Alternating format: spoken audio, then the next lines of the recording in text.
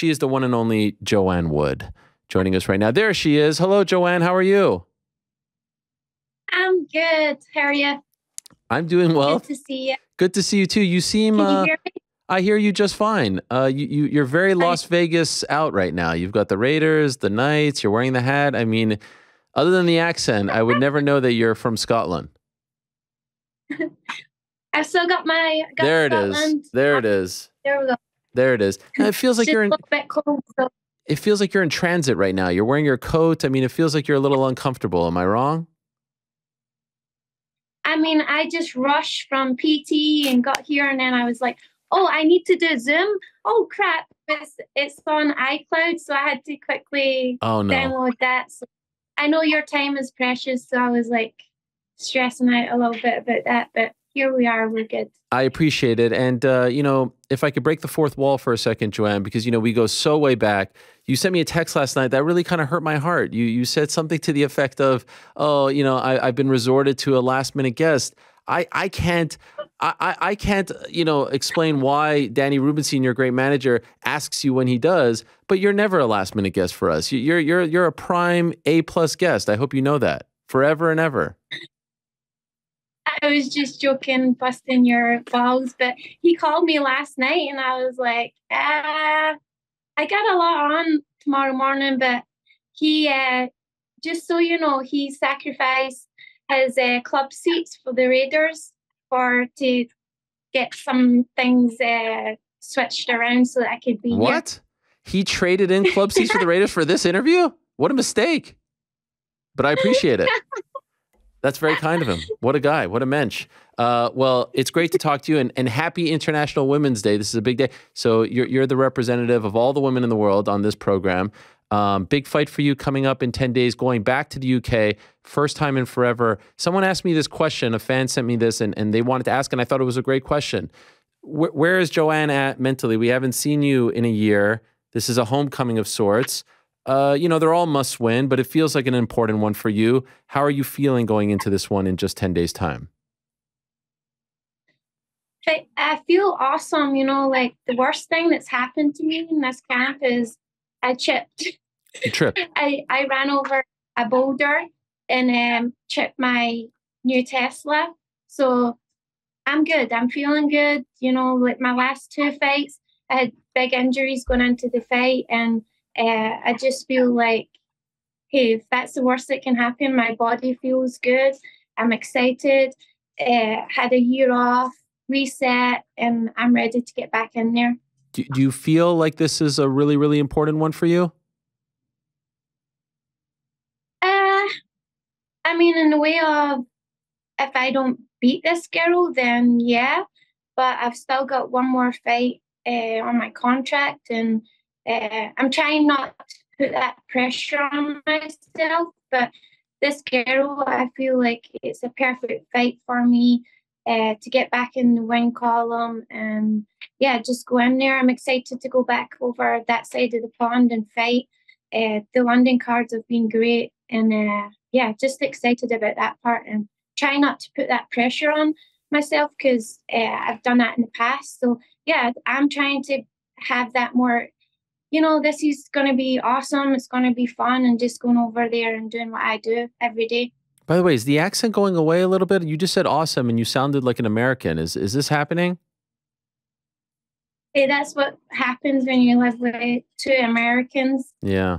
Uh, and also, I have someone else that wanted to meet you actually. Oh. Goose. I got a dog last year. Wow. Okay. What kind of dog? A pug. Oh, look at this. Wow. That is a classic right there. Oh, look at this guy. Oh my gosh. You're one of those? You you like I have a dog too, but I I I, st- I I draw a line at the kissing or the licking of the face. It's a little gross for me. I, I thought that. I wondered if you had a dog, but yeah, I, I was. This is my first dog, so I've I've never been like I never got what people were talking about. Like they love their dog and stuff until I got one. Uh, and yeah, now I'm like obsessed. I I yeah, couldn't agree more. Tongue. Oh, it's so gross. We adopted this dog, and I was like, "Oh, please no!" And now I'm the one walking her every morning, every night, take like bathing her. Last night, like I am the I am in love with her, and sh- I feel like she has changed. Like she has brought out this different side of the family, completed the family. So I'm now, I guess, a dog person. My dog's name is Matcha, like the tea. You know, like Matcha. She has green eyes. She's a Bernedoodle. Uh, maybe one day we can have a dog play date. Yeah. But yeah, sorry, going back to your accent Yes. comment. Yeah, a lot of people say that, but I think it's just being, I've been in Vegas now for five years. So I guess it was only natural that it was going to fade a little bit. But as soon as I've talked to FaceTime my, my mom or any of my family, like it comes out because John's always like, what happened? Have you spoke to your family? You- yeah, I've never had that thick Scottish accent. Uh, I feel because I've traveled so much, but yeah, it it it, it hurts my feelings when people say that I'm sounding like a Yank. Okay, okay. So we won't we won't harp on that. Although I must say, you've really uh, ingrained yourself in the Vegas culture. I see you at the hockey games, at the football games.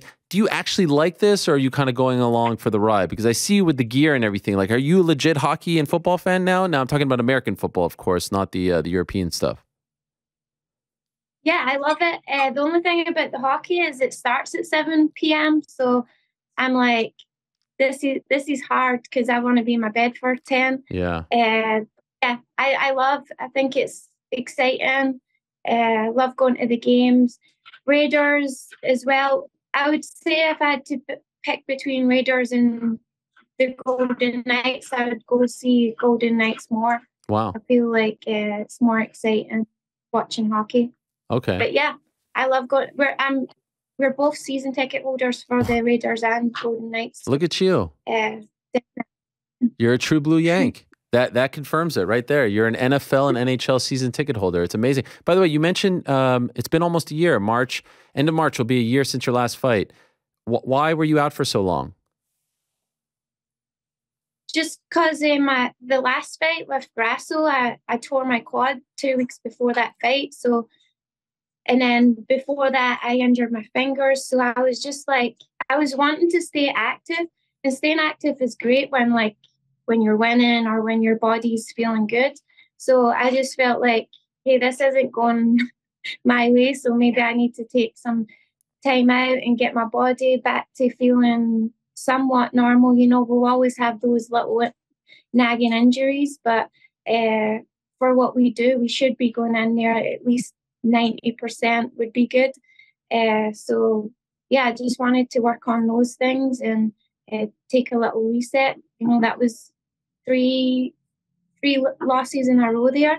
So yeah, I just felt like instead of pushing and trying to get back in there, I thought just take some time and get my body feeling good and uh, yeah and ufc were good with that so i felt like it done me good In the immediate aftermath, how did you handle that loss? Three in a row. Um, I, I saw you were upset afterwards. I saw, obviously, understandably so. How did you deal with it? yeah it was it was really tough and then you've got the whole like oh i'm getting older and you know i'm only got two more fights in my contract do i want to like back then i was like rushing things because i felt like oh, i wanted to have a family and uh, you know like everyone around me is like my era are, are retiring so that pressure as well. But i feel like i put that pressure on myself to stay active and just come on like keep fighting. But like i said before like that's all good if your your body's holding up but i should have been wiser and i don't know why after so long fighting uh, and and being in this game that i'm not. But you just i guess it's the fighter mentality you just think oh it's going to be okay i'm going to win i'm going to get in there and it's going to be everything's going to be dandy but at the end of the day now i'm like crap it's not like just i'm not young i, I can't be dumb and just do it anyway you know And so here you are returning a year later. And who would have thought when you fought Alexa Grasso a year later, she'd be the champion of the women's flyweight division? Were you shocked to see that on Saturday? Yeah, I was, but it was funny because after our fight, she had done an interview and she's like, "Yeah, I know Jojo likes to spin a lot." so, it was funny watching her do that to Valentina. Not funny, yeah, yeah, that way, but it was it was crazy to see. Oh, she done the exact same to uh, Valentina. Mine was a little bit different. I feel like uh, with my quad being uh, torn, I posted because I landed funny on my leg, and then she jumped on the the rear naked choke. But uh, it was beautiful. Saw that fight, and the finish was beautiful. Loved the, the both of them. Yeah. And yeah, it, I I was shocked. So going in, did you think like, Valentina was going to win?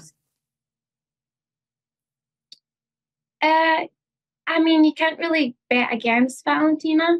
She's done amazing in the the division. So yeah, obviously I wanted both of them to to win because they're both sweethearts. But uh, yeah, I, I thought Valentina was going to get. It, it does again. seem it does seem though that um, and, and, there's our, our bud right over there behind you. It it does seem like uh, the gap has has closed considerably, right? Like even if they run this back and she wins, you know, with all the, you know, there's there's there's so many young fighters at 125. Like I think 125 is now the most interesting division in the UFC as far as women's MMA is concerned. It's way more interesting than 35, 45, of course, even 15. There's so many great fighters now at 25. Um, and and it feels like the gap has closed very quickly. Are you surprised at it closing this quickly, or were you expecting this at some point? Yeah, I said when it first started, it's going to take a while before the uh, the division gets that excitement that it has in 115. So it's definitely getting up here, and uh, yeah, I'm excited for it. Finally getting here. Obviously, I'm probably only get another year or two in the, the sport, but as a fan, I'll be uh, always paying close attention to that. Only a year or two left, you think? Yeah, well, yeah, we'll see what happens this next year. And, uh, you know, I'm getting old. I'm an old lady. You're not an old lady. How how old are you? I mean, let me see here. Yeah, you're 37. You're not 30. It says 36 here. I know. It's been like that for forever. It's wrong? Oh, oh no, it's going to change. It's going to change. No. You're going to make it change now? No, no, no, no, no. It actually should say 33, right? Yeah. Perfect. yeah. Thank you. Well, by the way, mm-hmm. if you're old, then I'm a, a, dinosaur because I'm four years older than you. So enough of this old nonsense, all right? I mean, you don't need your body to do what you're wow. doing, right? What are you talking about? I need to look good on camera. I mean, I'm not getting beat up, but I can't be like a schlub. Not when you're wearing those tweed yeah. shirts that are awesome, Becky. I appreciate it. Thank you very much. I appreciate that. What about the fact that you're getting an O2 fight? This is exciting, right? I hope you get a hero's welcome. I hope because you've never had an O2 fight in the UFC, correct? No, I fought I fought in England, London when I was fighting Muay Thai.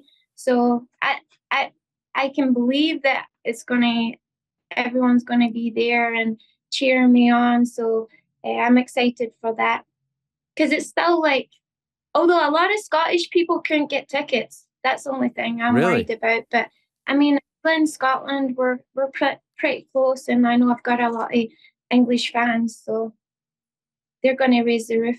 Will your family be there? Yeah. Wow. Okay, this is great. Yeah.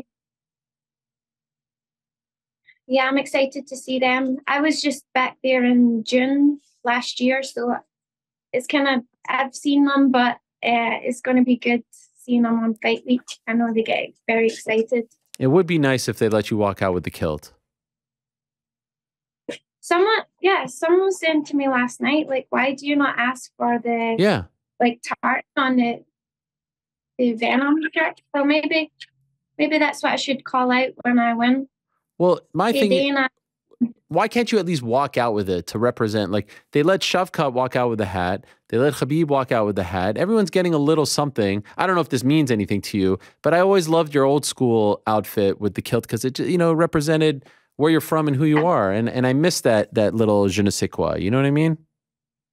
Yeah, yeah, it shows you your personality. And I was actually thinking about getting a Scotland flag on my palm because you know I, I'm very proud and I always take my flag out there and uh, it's gonna like even on the weigh-ins, like the fake weigh-ins, you're up there.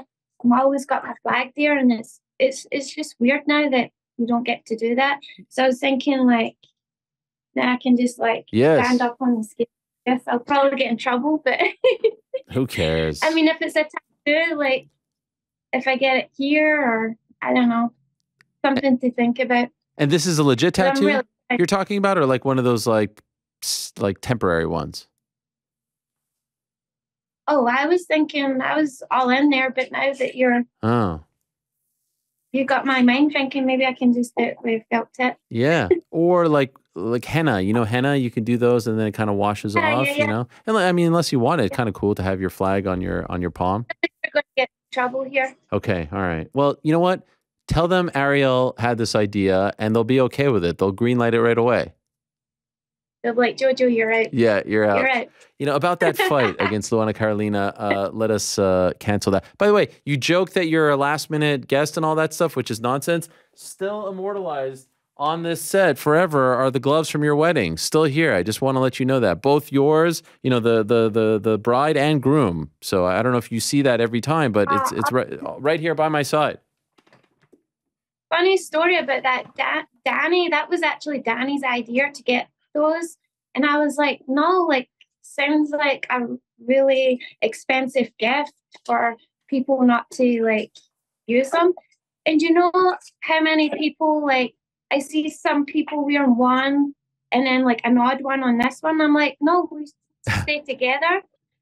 And then I'll like walk past the gym and there'll be one on the floor or two on the floor. And I'm like, these these gifts, like fighters have just been like, ah, yeah, Wait, don't care. but I, I thought you would be proud of the fact that over a year later, people are actually still using them. Yeah, as long as they don't leave them on the floor. Okay, you want some like, respect. Yeah, I get it. Yeah. Okay. I, I feel you. And by the way, still to this day, the greatest wedding pictures of all time. I've yet to see better ones than uh, than yours and John's. I mean, legendary. I, I can't imagine you not looking at those constantly and just saying, "Wow, we really nailed this." Yeah, we did. And we love Halloween, so we wanted to do a Halloween theme. And I, my dress was really expensive, so I wasn't going to like change out. So I had the idea of how can I keep my dress on, but go as a scary. Oh my gosh, it's been a, a an hour we've been married and we're we're dead. we're dead now. Till death do you part. Uh, so that's symbolic in a way. Uh, I'm very happy to see you back. It has been a while. I love the fact that you're getting to fight back home uh, in the UK. I love the fact that you're getting to be on one of these big cards. And I hope that the uh, the O2 explodes when you walk out and, and, and shows you the love and respect that you deserve because you're a pioneer of women's MMA. So I'm glad to hear that you're in a good spot, healthy, mentally, all good. I wish you the best, Joanne. Go get him. We'll be cheering you on.